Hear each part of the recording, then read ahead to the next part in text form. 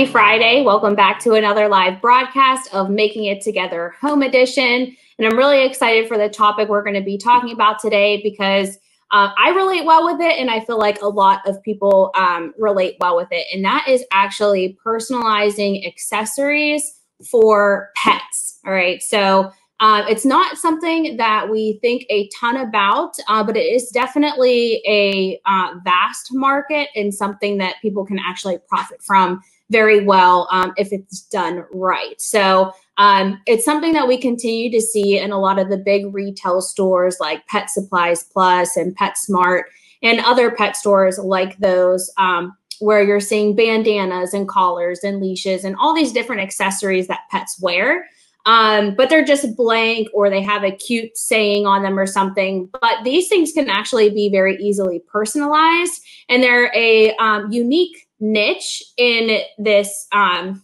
market that or this industry. All right. So if you have a heat press or even a home iron, um, and you have access to heat transfer vinyl and a cutter um, such as a Cricut or Silhouette, or even something bigger than that if you're working with a Graphtec or CE6000. Anything that can cut personalization very quickly um, with heat transfer vinyl. So that's what we're going to be discussing today. And it's actually perfect timing for me because today is my Husky's third birthday. Um, so we're actually going to be personalizing a birthday bandana uh, for him today. Um, and I'll be sure to share pictures on the Heat Press for Profit Facebook group a little later. Um, so before we dive into any application, um, any of the applications yet, I just want to show you some of the stuff that is trending um, very well on Pinterest and Etsy, uh, which is where I pulled a lot of inspiration for the applications we're going to be doing today. So I'm going to share my screen with you. And the first thing we're going to look at is Etsy. And all I did was type in custom dog bandana, and this is what populated. So you can see um, on the high end, they're selling for around $20. On the low end, you're looking at seven to $8. So it looks like to me um, that if you're incorporating a bandana that has a popular pattern, such as the buffalo check, uh, maybe some floral pattern, uh, seersucker is really popular as well. If you're choosing a bandana that has these popular patterns in them, it looks like they can sell for a little bit more. Also, you can tell that these ones are embroidered, so they're probably able to uh, get a higher price for those. But you can see that these applied with heat transfer vinyl are selling at just about the same price. So it's still very competitive, even if you're not doing embroidery, you should still be able to uh, get a decent um, sell price for it so that you're ultimately making something that you can profit from as well. So these are some really great options. You can see there's ones that are built with um, collars already built in, or you can just do the tie.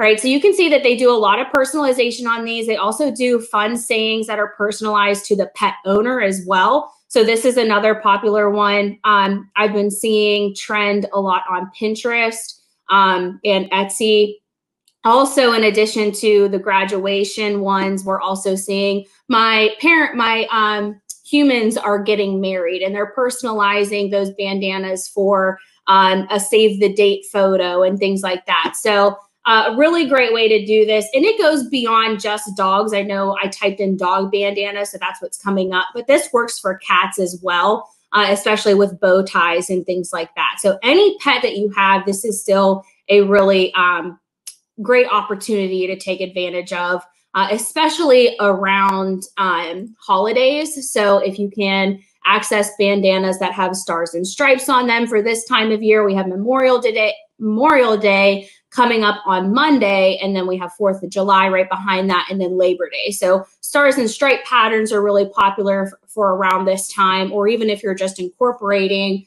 red, white, and blue into the pattern that you're choosing. So this would even be a great option. You could put white heat transfer vinyl on here or even red heat transfer vinyl and still be able to market to that specific holiday.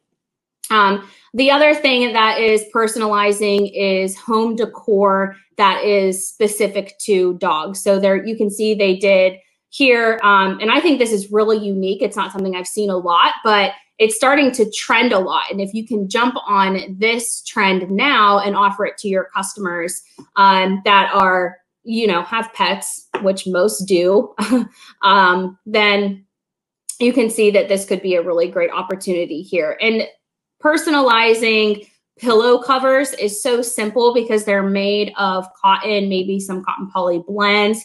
Um, and basically anything goes on them. You can do basic heat transfer vinyl, flocked, any type of special effect, um, and really take advantage of all the opportunity here. So pillows is a great one, customized um, toy baskets, which is actually which is actually what we'll be uh, personalizing today. So I already held up the bandana that we're going to heat apply, and then also these uh, fabric baskets as well. So this is another great option. Um, these this one actually I sourced from Amazon. It's a stone and beam brand, so you can see that listed there. Um, and this comes in a pack of three.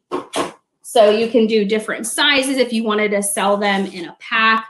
But basically, they're uh, reversible. You can do the buffalo check pattern on the outside, or you can flip it um, and do black and then have this on the rim like we did this one.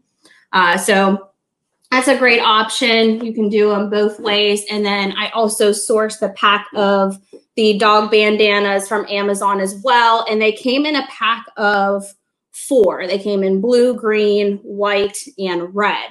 And it has the black and gray uh, buffalo check throughout too. So um, really great resource, Amazon.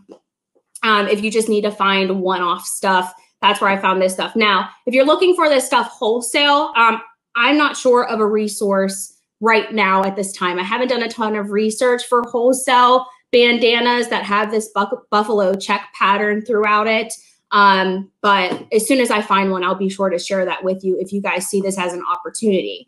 However, rabbit skins, uh, or not rabbit skins, but LAT, they have a, you know, that they do a ton of uh, different brands. So they have rabbit skins, they have doggy skins. Okay. So you can actually get a lot of dog apparel through that on S&S activewear, but it's all just solid colors. So if you're looking for a pattern Right now, this stuff was just sourced from Amazon, but if you're looking for wholesale and you just want to do all blank stuff, um, that's a solid color and decorate it that way, then uh, then uh, doggy skins is another uh, great opportunity there.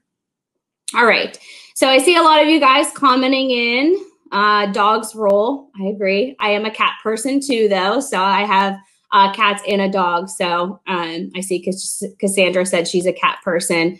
Um, so it's actually, I was looking up some different things online to see um, how many people actually have pets and how big this opportunity actually is. And it's huge. Um, so I, I brought up a article um, by Cozy Pet Sitting.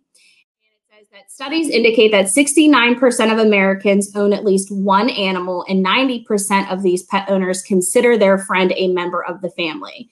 I am definitely one of these people, um, but that just goes to show how big of a market that this can really be. If you're connected with pe- people that also have pets um, and being able to decorate for them and be their go to person for this, this can be um, a business in its own. And there are a lot out there, um, but it's not as big as it may seem because again you'll be competing with some of those larger retail stores but if you're the person and you're area, or maybe you're in a Facebook group and you want to offer um, personalized accessories there, that's a great way to communicate um, with pet owners and show them what all you can offer. So, great opportunity there. Let's go ahead and dive in um, to the design creation uh, of what we're actually going to be putting onto the birthday bandana, uh, which I'm actually going to use the green one for.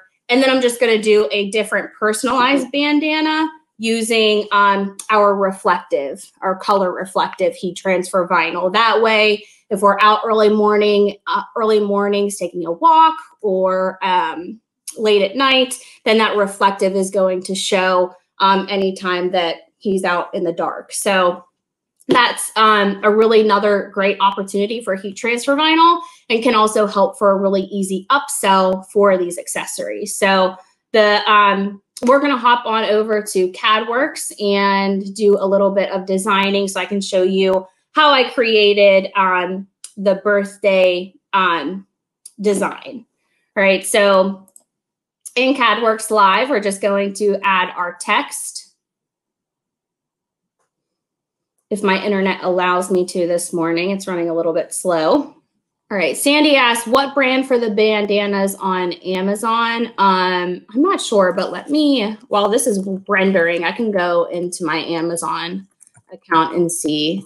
All right, so this is finished rendering, so we can go ahead and add our text. So I'm just going to do birthday and the font that I'm going to use is EarthQuest because I like the, how fun that looks when it's in all caps.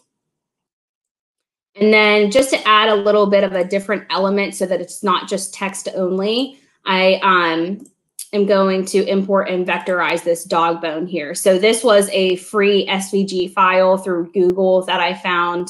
Um, so you can see that, um, or a PNG file. So no background there. We can move forward. Just select the foreground colors and it's going to go ahead and create those cut lines for me. All right, so I'm going to size this down a bit so that it's not too large in when considering um, how small the text is. All right, so we'll just size that down till it looks about how I want it to. And then I'm going to duplicate this text and drop it down here. And now type in boy. So using that same EarthQuest font. Right, and I'm just going to size this to see how it looks. So I'm going to make this a little bit larger. Right, make sure everything's centered. And before I export this to Cricut, what I'm going to do is go to shaping and do back minus front because what it does is picks up color. So it would actually read that as a color on there as opposed to something dropping through this bone if I was to just import and vectorize that or trace it, I guess you should say. I think that's what Cricut uses. So I'll just export this as a PNG and name it. That will go right into my download so that whenever I go to Cricut and upload that, um, that is where I'll be able to find that file. All right, so I already have this loaded in here um, and ready to cut. I'm gonna be using Sport Film Light for this application. Uh, Sport Film Light is another really great heat transfer vinyl that we offer. Um, I like it because it's super easy to weed. It's actually a lot like um, Ultra Weed. So Ultra Weed is the new heat transfer vinyl we launched. That's what I would have used today, but FedEx lost my package. So right now I don't have any white Ultra Weed uh, in my inventory here. So I have to use Sport Film Light, but it's still a great product nonetheless. So we can uh, just use that. All right, so um, to cut this, I have it set up on the Cricut here. All right, so this is all loaded onto my 12 by 12 cutting mat. And I'm just going to hit make it. Make sure that everything is weeded or not weeded, mirrored, and connect my Cricut to my computer.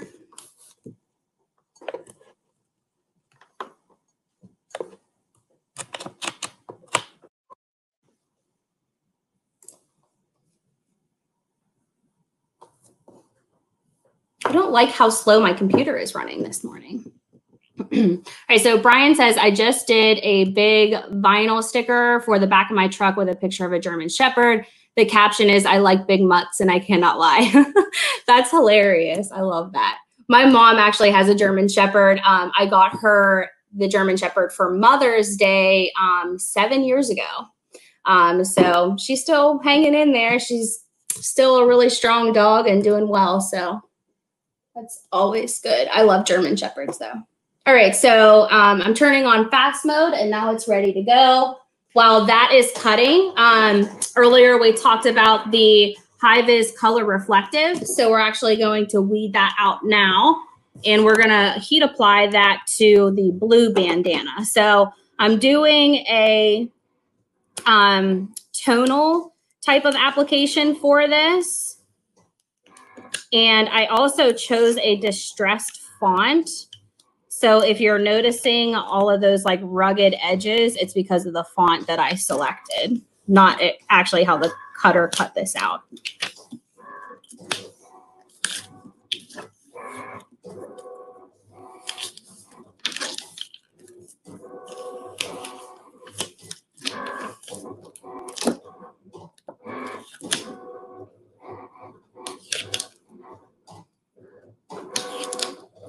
Reflective is definitely a thicker product in comparison to most um, flat types of heat transfer vinyl that don't have texture to them. So whenever I say that, I mean like flock or glitter flake. But if you're comparing this to a flat heat transfer vinyl like Ultra Weed, Fashion Film Premium Plus, this is definitely a little bit thicker.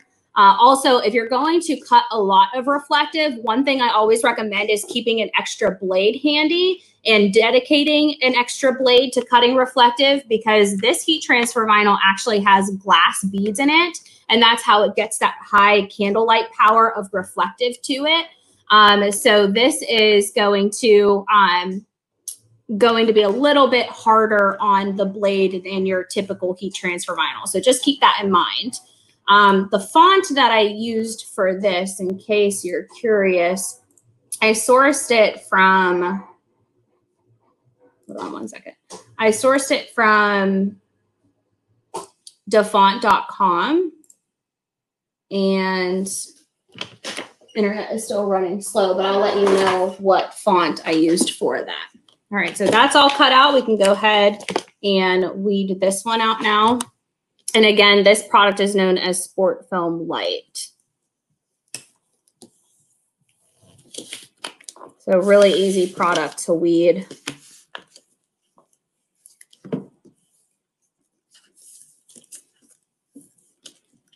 And I didn't realize, but it actually ganged up my designs all the way across. So I accidentally weeded down too far. I could have saved that.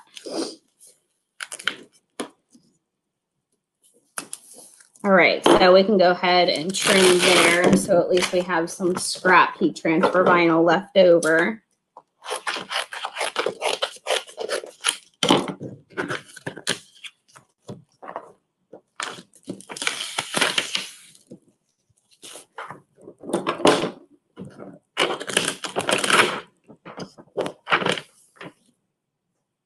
Right, and then we're just going to take out the rest of these cavities in here. And then we'll have to trim once more so that we break these apart for the applications.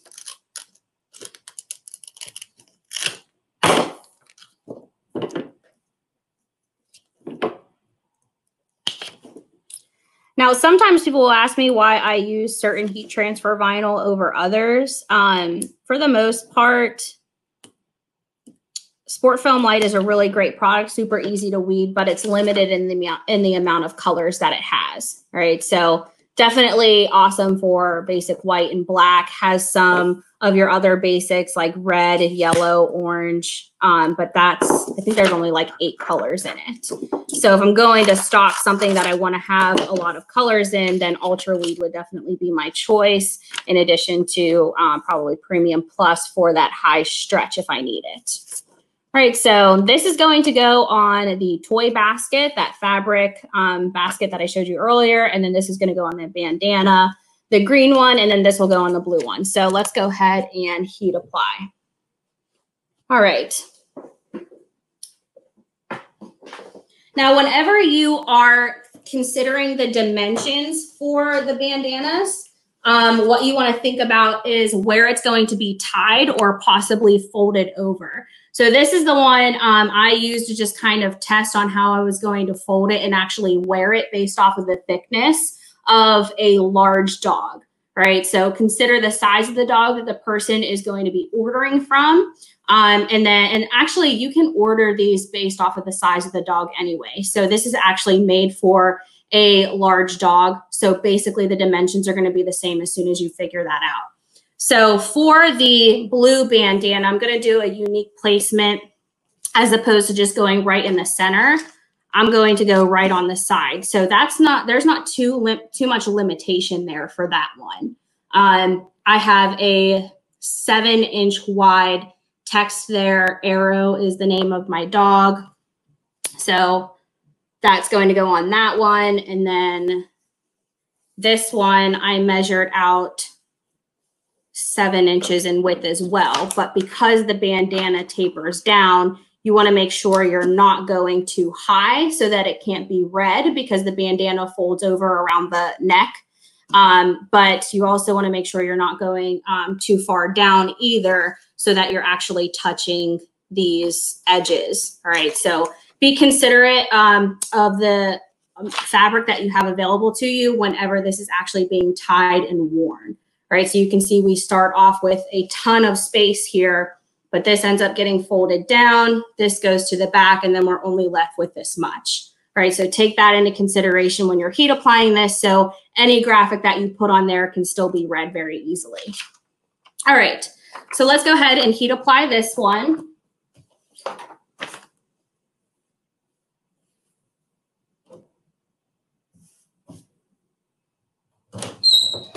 Preheat, of course, and then we'll just drop in our graphic making sure I'm not going too high. This is the main part of the bandana that is seen.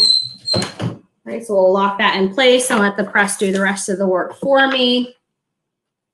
And then we'll heat apply the reflective next.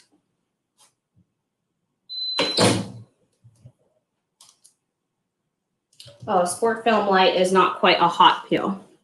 This is actually a warm to cool pill, so I'll let that cool down just a tad before I peel that back.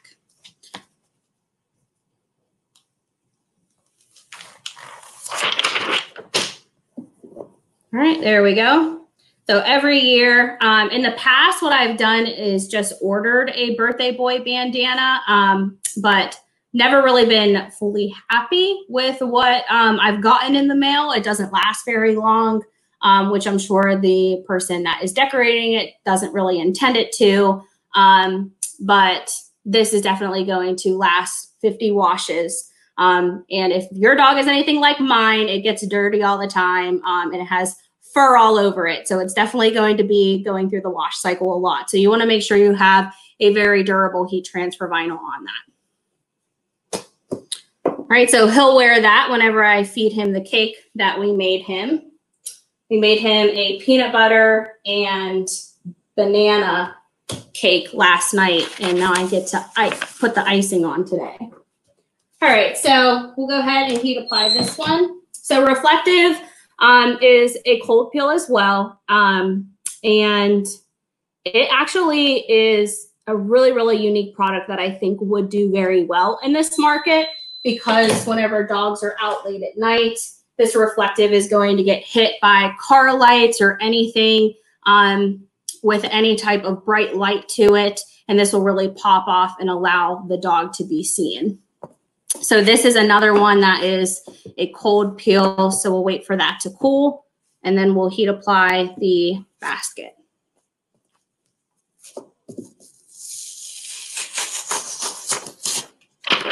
I'm also really impressed with the amount of um, detail that this one was able to pick up with the distressed text that we utilized for this one. So you can see the distressing in the bottom of that A there. I thought that I was going to have a really hard time weeding that out, but it was actually very easy. So that turned out really, really cool. I love how those two colors really look together. So I'm really excited. My husky has bright blue eyes, so this is going to be perfect. All right, so last but not least, we have the fabric basket. And I'm going to be utilizing a heat printing pillow for this application, just to make sure that this seam right here isn't too thick because I don't want that to cause um, any uneven pressure for this application right? And I measured this. Sorry, my transfer is stuck to my table. There we go. I measured this prior just to make sure I had enough room there. Right, so that's going to look really cute on there. Right, and this font is called Faradisa. So in all caps, that looks really cute together as well. All right, so I'm just going to place the pillow here on the platen and then just load on that part of the bag. I am going to have to hold it here because where my heat press is and where the dresser is, this heat press doesn't have any threadability to it. So whenever you're working with a press that doesn't have threadability, there's nothing underneath the press for this to set on, um, like the Fusion or Auto Clam. So it makes it a little bit harder. So we'll just hold it for this press. We are going to have to dial back our pressure a good bit. There we go. Because this is really, really thick. It's like a triple layer bag. It's super durable. And that's why I chose this because you could just tell the quality of the photos that they had of it.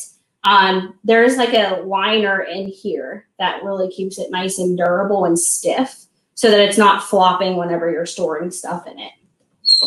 All right, so we'll lock that down. All right, some other questions. Get the dog and dress him. you do not want me to bring my dog in here. He's crazy. He's three, but he has no chill at all. He gets overly excited and hyper. It's it's so funny, but, but it would be a mess trying to get him in here to dress him. I promise I will share photos though on the Heat Press for Profit group. All right. So now we have um, some other stuff. I want to see the husky now. I promise I'll, I'll I will definitely share pictures. All right. Definitely still too hot. Like I said, there's a ton of layering uh, or ton of layers in here that make this really thick. So it's holding a lot of that heat and not letting that release very well. Patrice, I have a miniature Chihuahua, Bella. She is a, a miniature she thinks she's a miniature Rottweiler. Well, unlike my dog, he thinks that he's a lap dog and very small. So he just climbs on anyone that's sitting on the couch. He doesn't care who you are, even if you're a visitor, and he'll just sit on your lap because he thinks he's small enough to be able to do that. All right, so very easy application. Always, of course, it's easier if you're definitely following those instructions.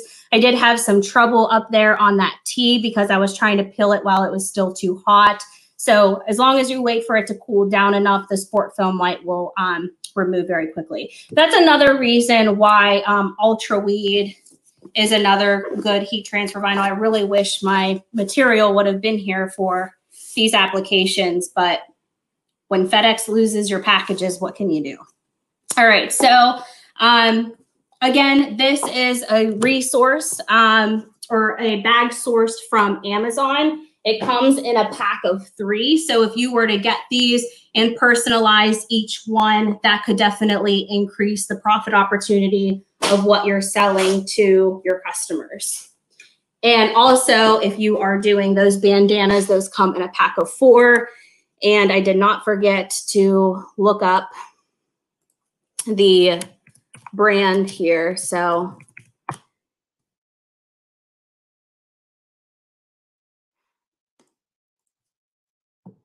I am going to look that up. But Amazon is making me sign in with a code, so I need to get that from my phone real quick. Okay.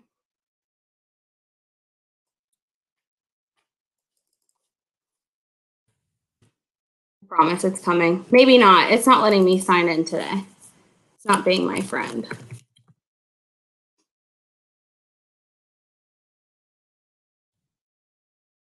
No, I will have to let you know whenever I later, whenever I um purchase or post the photos, what brand that was, unless I can bring it up on my phone. We'll try that before. She says they would make a great couple. Thank you, Cassandra. All right, so let's see here. My orders. Okay, this was by Odi. O-D-I. It's Odi Style Buffalo Plaid Dog Bandana, all right, on Amazon. So I will be sure to share that once again with those photos that I post later um, so that it's just an easy click for you instead of having to search and find it. Um, but yeah, I'll be sure to put that on there. All right. Jenna, did you come up with a design for the flag bag for flag bag from SNSA? No, I didn't, but um, I'm going to do a static video on that one because I think that um, being able to reshare that video later as opposed to doing a live on it would be cool. So if you have any ideas for me, April, I am all ears. All right, Jim says used white ultraweed for the first time yesterday. The cut lines were hard to see, but maybe it's just the 50 year old eyesight. Uh, so I agree. Cut lines can be really hard to see if you are not using really bright light. So I'm lucky. I have the ability to have studio light here um, from the videographer from Stahls Joe. He had me bring um, home a really big studio light. Uh, so it's really easy for me to see the cut lines um, because of that light. But if you just put even a desk lamp over top of it, I think that makes the cut lines a lot easier to see. Right. Thank you, Patrice. Um, April says, all got also guys bandanas unlimited is the best for dog bandanas. Customer service is great. Got uh, bandanas unlimited. So let's go and check that out.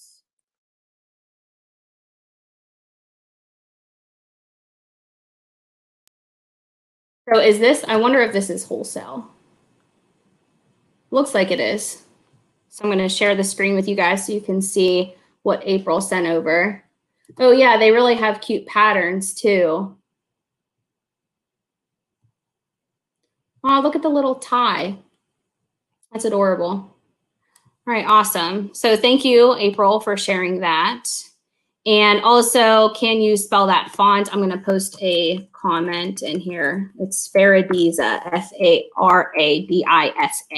And that was sourced from dafont.com. So I just put that into the comments. You may see that pop over. All right. If you're on Facebook, it posted on YouTube and Facebook. So either on YouTube or Facebook, it's there. So Faravisa, it's Faradiza with a D. Gary says, I use a desk lamp to help see weed lines. White is very hard for me to see. Yeah, white heat transfer vinyl and any type of heat transfer vinyl, in my opinion, is really hard to see, or even heat transfer vinyl that has a white backing. So this is bright red on the front and this is ultra weed, but it has a white backing. So some colors are like that in heat transfer vinyl. So desk lamp, bright lamp, any of it helps. Um, Cassandra, my life would be in stitches if I tried to dress my cats. Um, I tortured my cats one year. I have two cats. Um, I put Christmas sweaters on them. They absolutely hated it. It didn't last very long before they figured out how to get them off. Um, but I'll never torture them like that again because they were not happy. All right. Well, thank you guys so much for joining me. If you're not already in the Heat Press for Profit group, go ahead and sign up um, in that group. Uh, you know, all you have to do is answer a couple questions like what type of heat press do you have or um, what type of products do you use? And then you get entered into the group and I'll be sure to post all of those photos for you there. So thanks again so much for joining. I hope you all have a great Memorial Day weekend. I will see you guys on Tuesday. Um, so since we are not here on Monday, I will be doing a live broadcast on Tuesday at 11. So I'll see you guys then.